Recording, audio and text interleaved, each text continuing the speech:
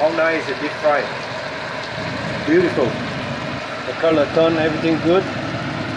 So today I do the same, same day. I use the same uh, chop, couple fry to, to, to do deep fry again. So how about is it? Look. See that? Beautiful.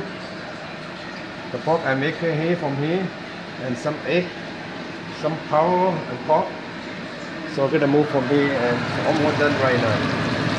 So I'm gonna hang up, let it dry up, leave it up. So how could it turn so nice, so beautiful, right? So that's a dinner time stuff, right? So I try to make some for my family. Try my uh, new new stuff I use it. Couple fry, so so beautiful deep fry right so thank you for you guys watching